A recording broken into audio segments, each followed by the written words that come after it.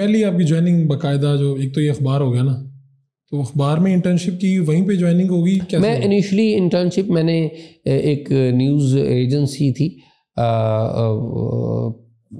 PPA तो वहाँ पर मैंने इंटर्नशिप वगैरह की फिर एक अखबार में आ गए फिर अखबार में उर्दू अखबार था फिर एक न्यूज़ एजेंसी में पाकिस्तान की जो सबसे बड़ी news agency A P P उसमें काम किया।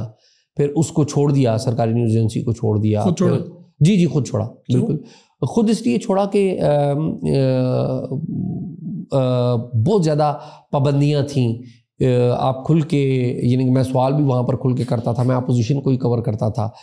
फिर एक आध कोई वाक़ ऐसा हुआ कि मैंने सोचा कि सरकार के अंदर आप रहते हुए आप उस तरह से खुल के काम नहीं कर सकते बल्कि सरकार के जो बाकी इदारे हैं वो भी आप पर आके दबाव डालते हैं। जो हम्म। पूरी एक कहानी है वो एक किसी सेटिंग में आपको वैसे वैसे वैसे तो आम लोग तो जो हमारे आम जर्नलिस्ट भाई हैं उनकी तो बड़ी ख्वाहिश रहती है कि ए पी पी में पीटीपी में यहाँ पे एक मुश्किल नौकरी का सिलसिला होता है। प्राइवेट में तो आगे पीछे लोगों को करते रहते हैं। जी मेरे मेरे वाले साहब जो हैं वो सरकारी मुलाजम रहे फ़ौज में भी रहे बाद में सरकारी मुलाजम रहे तो उन उनको पता लगा कि मैंने ए पी पी से जॉब छोड़ दी है।